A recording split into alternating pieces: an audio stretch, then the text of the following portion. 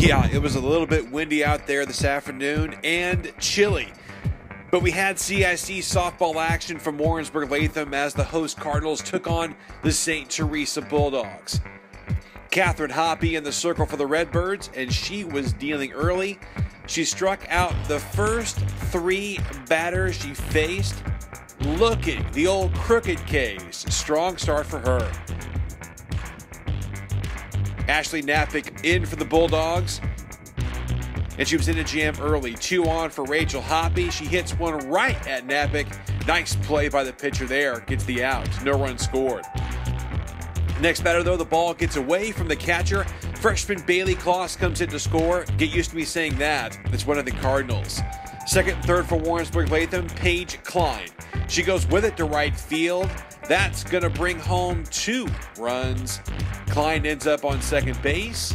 It's 3 0 now. Catherine Hoppy up with a runner on. She slaps that back up the middle. Runs to come in to score. It's 4 0 now, Cardinals in the first. They add another run. It's 5 0. We move on to the second. Napick on third for the Bulldogs. And Miller hits a grounder to short. The throw is close, but they're unable to come up with it. Napick comes in to score. It's 5 to 1 Cardinals. Cat Hoppy gets out of the inning with a strikeout looking, only giving up a run. It's 5 to 1 heading to the bottom of the second. Closs on base. That's a shocker. Brooke Stewart hits it back to Napick. The throw gets away. Closs is going to go ahead and come in to score 6 to 1 Cardinals after two innings. The third, Alexis Newbon on third. Napick puts a hurting on that pitch to center field.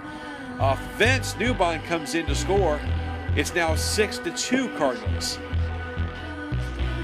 But Hoppy, looking like a cat out there, gets the ground ball, and tosses it over the first to end the inning. 6 2 Cardinals. Napick got some help with the defense in the third. Shot to right field. Shelby Hastinger stayed with it. Nice grab out there in right field for the out.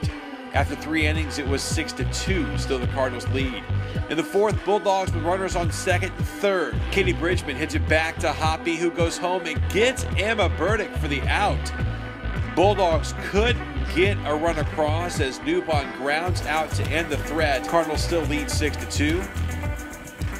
In the bottom half of the inning, they had the bases loaded. Brooke Stewart takes it right back up the middle. Clausen Devers comes in to score 8 to 2 now Cardinals lead. And they would put up more. Paige Klein then steps up and drills a shot to center field. It gets past Newbon, goes all the way to the wall. Hoppy and Stewart come in to score. Cardinals blowing this game open now, up 10 to 2. It's 11 to 2. Cat Hoppy puts a charge into that one to right center.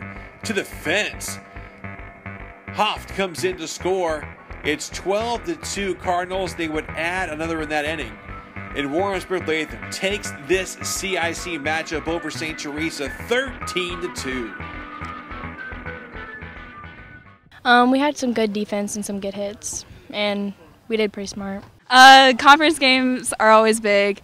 Um, just nice to be up there at the top of the conference. Well, we're just trying to uh, put together a few wins in a row, and really we had a nice weekend over at Athens and uh, just got our bats going again. And this game kind of carried over. We didn't really complain that much, and I mean it was kind of hard to get the fly balls and stuff, but we still got it. So yeah, we've had a pretty good pretty good luck with the season with it being warm games. So coming out in the cold and windy, things can get kind of uh, mixed up. But we played really well and we stuck with it and kept going. So.